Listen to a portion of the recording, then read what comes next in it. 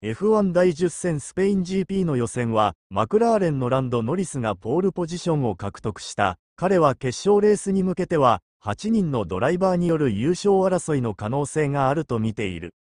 ノリスは予選でマックス・フェルスタッペン、レッドブルを0.02秒の僅差で下し、キャリア2度目のポールポジションを獲得、2列目にはメルセデス勢、3列目にはフェラーリ勢がそれぞれ並ぶ結果になった。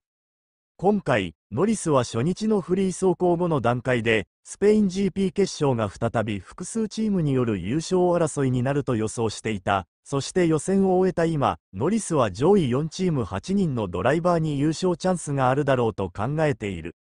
ワクワクしているよと、ノリスは予選後の会見で語った、ターン1までが長いから、ここはポールからスタートしたくない場所の一つなんだ。でも僕らにとっては、レースで勝利するチャンスなんだ。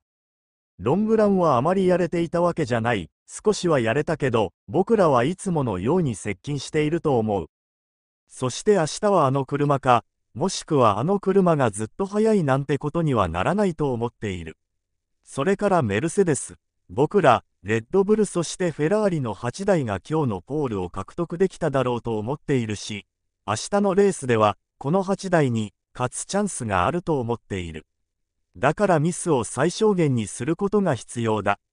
今日と同じように、普段通り良いレースをすることだね。2番グリッドに並んだフェルスタッペンは、予報されている夜間の雨が優勝争いに影響する可能性もあると考えている。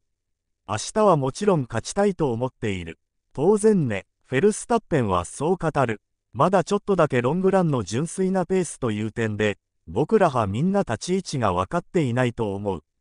そしてここ数戦のように超接戦になることも期待している。ここは気温も高いから、タイヤにはしっかり気を使う必要があると思う。夜中や朝に雨が降ってくる可能性もあるから、明日の路面状況はわからない。そういったことも全て影響を当然与えてくるだろう。